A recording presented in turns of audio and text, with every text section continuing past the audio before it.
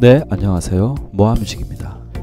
오늘 이 시간에는 지난 시간에 디미니시 코드에 대한 사용 방법, 기본적인 세 가지 종류가 있다는 것, 종류를 배웠고 오늘은 그 첫 번째인 Ascending Diminish 코드에 대해서 한번 자세히 다뤄보도록 하겠습니다.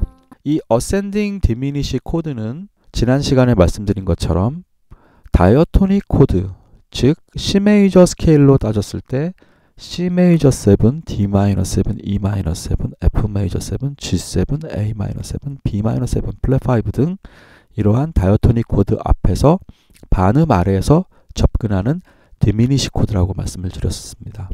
그것을 우리가 ascending, ascending이 이렇게 이륙할 때 비행기가 그럴 때 우리가 ascending이라고 하고 네, 그 반대가 descending이었죠.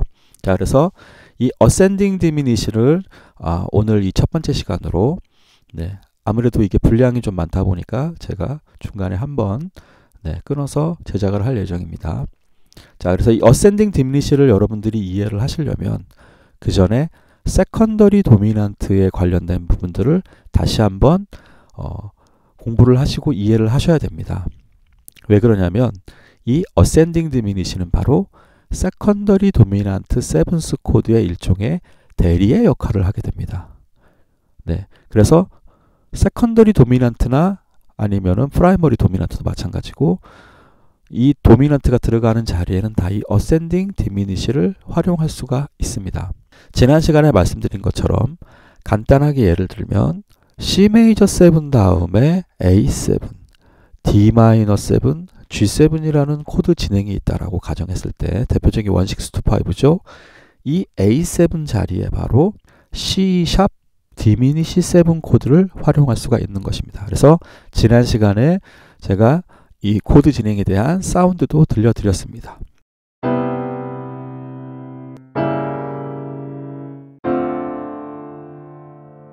자, 그래서 반음 아래에서 접근한다 그래서 ascending diminish. 그러면 이 A7과 도대체 C# diminish 7은 어떠한 관계가 있는 것인가? 그 부분에 대해서 오늘 설명을 드리려고 합니다. 자, 하지만 이 diatonic 코드 중에서 C 메이저 7, 1 메이저 7 앞에 붙는 ascending diminish는 사실 자주 사용하지는 않습니다. 자, 이거는 계속 어, 레슨을 진행하면서 제가 자세히 설명드리기로 하고 일단은 그러면 secondary dominant나 아니면 primary 즉 dominant 코드 sub five는 아닙니다. sub five를 제외한 이 dominant 코드들에서 어떻게 활용이 되어지는지를 한번 알아보도록 하겠습니다. 먼저 secondary dominant seventh 코드를 한번 찾아보면 C 메이저 7 diatonic을 먼저 파악을 해야 되겠죠. E 마이너 7 F 메이저 7 G 7 A 마이너 7 B-7, 플랫 5 이렇게 7개의 서로 다른 코드가 존재를 합니다. 자, 그러면 G7 같은 경우는 원래 dominant인 5도이죠. 그 다음에 secondary dominant 같은 경우는 이, 밑, 이 다음에 있는 diatonic 코드들 one major seven을 제외한 나머지 2-7부터 7-7 플랫 5까지의 diatonic 코드를 각각의 1도로 가정을 하고 그 앞에 5도인 도미넌트가 올 수 있다라고 했었죠. 그게 바로 D-7 앞엔 A7, E-7 앞엔 B7, 그 다음에 F 메이저 7 앞엔 C7, G7 앞엔 D7, A-7 앞엔 E7, 그 다음에 B-7 플랫 5 앞에는 올 수가 없다고 했었습니다. 왜냐하면 F-7이 5도권이 5도권 아래에서 접근하는 F-7 다음에 B가 되기 때문에 이 F-7 같은 경우는 지금 현재 C 메이저 스케일의 다이어토닉이 아닙니다. 즉 구성음이 아니죠. F-샵은 C 메이저 스케일에. 그래서 이 secondary dominant seventh는 C 메이저 스케일의 family다. 그 안에 있는 가족이다라는 그런 어떤 어, 사운드의 일체감을 주기 위해서 적어도 secondary dominant seventh 코드는 secondary dominant seventh 코드의 root는 즉 A7, B7, C7, D7, E7의 root는 즉 라시도레 미가 되겠죠. 는 원래 키에 즉 C 메이저 스케일을 말하는 거죠. 키에 diatonic이어야 한다. 즉 구성음이어야 한다라는 어떤 규칙이 있었습니다. 지난 제 secondary dominant 레슨 때 보면은 또 자세히 나와 있습니다. 그 규칙 때문에 F, F샵 7은 우리가 secondary로서는 사용할 수 없는 코드가 됩니다. 그렇기 때문에 B-7 플랫 5 앞에 활용되는 ascending diminish도 없다라고 이렇게 보시면 되는데 그런데 이건 어디까지 이론적인 어떤 이야기이고 내가 A샵 diminish 7을 B-7 플랫 5 앞에 활용하고 싶다. A샵 diminish 7을 B-7 플랫 5 앞에 활용을 하고 싶다. 그리고 나는 이거를 ascending diminish라고 말하고 싶다라고 하면은 그렇게 생각을 하셔도 됩니다.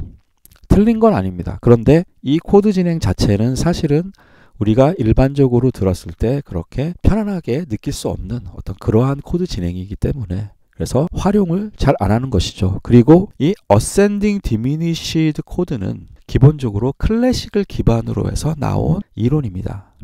그렇기 때문에 클래식, 클래식에서는 어, 기본적인 어떤 그런 보편적인 이론에서는 뭐 현대음악까지 가지 않은 그런 보편적인 이론에서는 어, 일단 많은 사람들이 듣고 편안하게 느낄 수 있는 그 범주 내에서 멜로디와 코드들을 엮어나가기 때문에 구성하기 때문에 그러기 때문에 이 진행 A-샵 diminish 7과 B-7 플랫 5는 사용을 안 하는 것입니다. 그러한 이유 때문에 B-7 플랫 5인 7-7 플랫 5 앞에 ascending diminish는 사용하지 않는다. 그렇게 이해를 하시면 됩니다. 사용하지 못한다는 것보다는 사용하지 않는다. 이것이 조금 더 음악적에서 음악적으로는 맞는 말이 되겠네요. 여기까지 이해를 하셨으면은 기본적으로 자, 그 다음에는 이제 어떻게 이 도미넌트들이 diminish 코드와 관련을 맺고 있는가 그리고 그 secondary나 primary dominant의 어떤 대리적인 기능, 대리 코드적인 기능을 할 수 있는가를 한번 또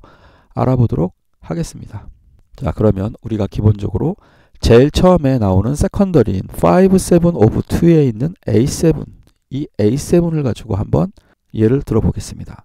자, A7 같은 경우는 스케일이 기본 스케일이 바로 Mixolydian 플랫 9 플랫 13 스케일입니다. 그 전에 secondary dominant seventh 코드를 설명드릴 때 스케일을 설명드릴 때 코드 톤은 기본적으로 라, 도샵, 미, 솔입니다. 그런데 그 사이에 끼는 non chord tone은 그렇죠? 코드 스케일은 코드 톤 플러스 non chord tone이라고 말씀드렸죠. 코드 스케일을 외울 때는 이게 가장 핵심적인 포인트라고 말씀을 드렸었는데 그러면 이 non chord tone은 어떤 음을 집어넣어야 되느냐? 그게 바로 또 좀 전에 말씀드렸던 메이저 스케일, 즉 여기에 이 키에 해당하는 메이저 스케일, 여기에선 C 메이저 스케일이죠. 그 C 메이저 스케일에 대한 그 일체감, 음악에 대한 일체감을 위해서 non chord tone은 기본 원래 C 메이저 스케일의 구성음을 넣어주자. 그래야 더 확실하게 C 메이저 스케일의 귀속감을 느낄 수 있을 것이다 라는 어떤 그러한 규칙성 때문에 그렇죠? 이런 거 다 보편적인 거라 말씀드렸죠. secondary dominant seventh 코드의 non chord tone은 원래 키에 원래 키에 diatonic이어야 한다라는 어, 규칙이 생겼다고 말씀을 드렸었습니다. 어쩔 수 없이 도샵은 나올 수밖에 없습니다. 코드 톤을 따라가야 되기 때문에. 그렇기 때문에 라 다음에 A 다음에 root 다음에 시라는 음이 오죠. 그렇죠? 이 시가 바로 C 메이저 스케일의 구성음이기 때문에. 그런데 이 C 같은 경우는 A7 입장에서는 텐션 9이 됩니다. 그렇기 때문에 어 Mixolydian 플랫 9 플랫 13을 사용해야 되는데 왜 9이 오죠라고 질문을 하실 수가 있습니다. 하지만 이 D 마이너를 중심으로 봤을 때는 이 D 마이너를 중심으로 봤을 때는 D 내추럴 마이너를 기준으로 내지는 D 하모닉 마이너를 기준으로 봤을 때는 시 플랫이라는 음이 옵니다. 이 부분이 상당히 어, 어려운 부분입니다. 쉽진 않습니다, 여러분. 자, D natural 마이너를 보면 D natural 마이너 스케일 보면 레, 미, 파, 솔, 라, C 플랫, 플랫 6인 C 플랫, 그 다음에 도 플랫 7. 이게 바로 D natural 마이너 스케일입니다. 보통은 우리가 2, 3, 5, 6이 반입니다. 이런 식으로도 외울 수 있습니다. 하지만 네, 그거는 이제 옛날에 우리가 잘 구조를 몰랐을 때 그렇게 이해를 하는 것이고 이제는 D-7 어 D-7의 플랫 6, 플랫 7. 뭐 이런 식으로 여러분들이 이해를 하셔도 되고 자, 아무튼 그랬을 경우에 harmonic 마이너 같은 경우는 도 sharp이 들어가죠. 이건 harmonic 마이너 스케일에서의 seven인 거고 얘는 플랫 seven이죠. D natural 마이너에서는 그랬을 경우에 라 도sharp 미 솔 A7을 만들어 주면은 그쵸? 요 도sharp을 적용해서 harmonic 마이너에 있는 5도를 빌려온다 그랬었죠. 그렇게 되면 이 B 플랫이 바로 A를 기준으로 플랫 2 내지는 플랫 9이 되는 것입니다. 그렇기 때문에 이 B 플랫은 C 메이저 스케일의 구성음이 아니죠. 그렇기 때문에 텐션 9을 기본적으로 사용을 합니다. 그게 5, 7 of 2인 secondary dominant의 5, 7 of 2의 특징 중에 하나입니다.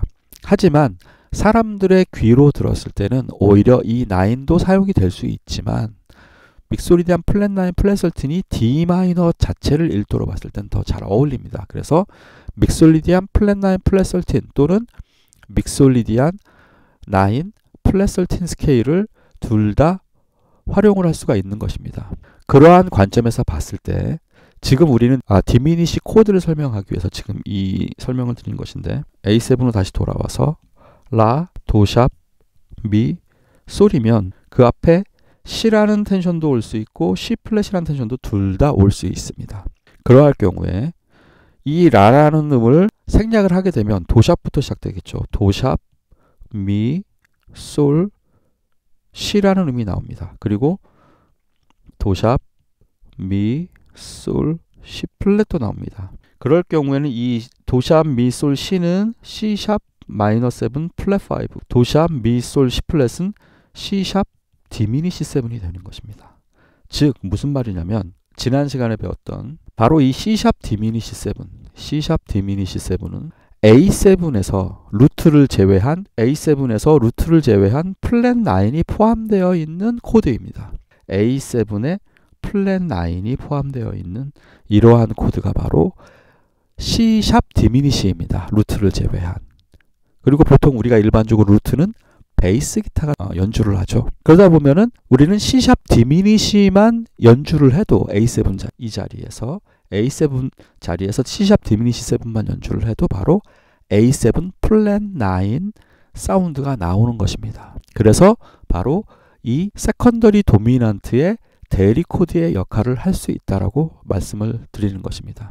이 부분이 상당히 좀 어렵고 이 diminish, ascending diminish를 이해하기 위한 가장 중요한 파트이기 때문에 여러분들이 이 부분을 잘 이해를 하시고 그 다음에 다른 secondary들도 한번 그렇게 적용을 시켜 보시면 이해가 되실 겁니다. 오늘 레슨은 일단 여기에서 1편을 마무리를 하고 여러분들이 ascending diminish는 secondary dominant 내지는 primary dominant의 대리 코드 역할을 한다라는 그 부분을 여러분들이 좀 잘 기억을 하셨으면 좋겠습니다. 이것으로써 ascending diminish 코드에 대한 첫 번째 시간을 마치도록 하겠습니다. 감사합니다.